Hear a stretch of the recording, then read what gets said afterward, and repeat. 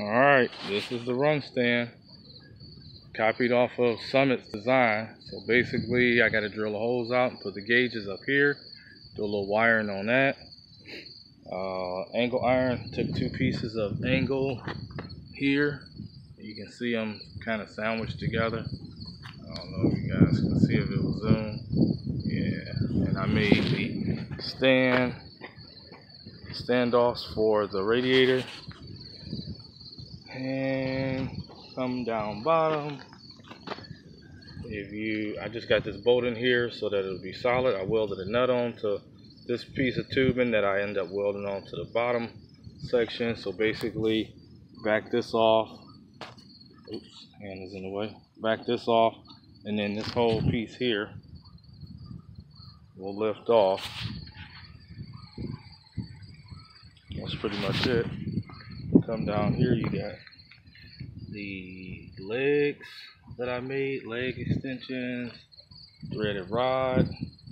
So it's adjustable. I can slide it uh, front to back, whatever configuration engine I got. This cross brace here, this goes to this other cross brace for more support. And this is the old engine stand uh, piece here that I bolted in. So basically it's fully collapsible.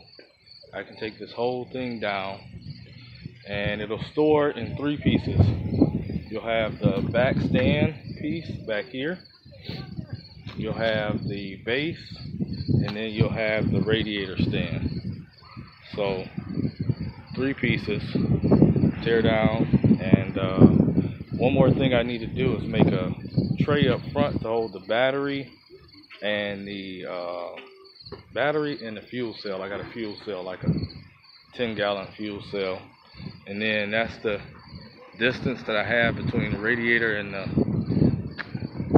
radiator and the block. You can see that's quite a bit of, so I can run truck accessories, which will probably come out to here and still have room in front of the radiator. So that's it, man.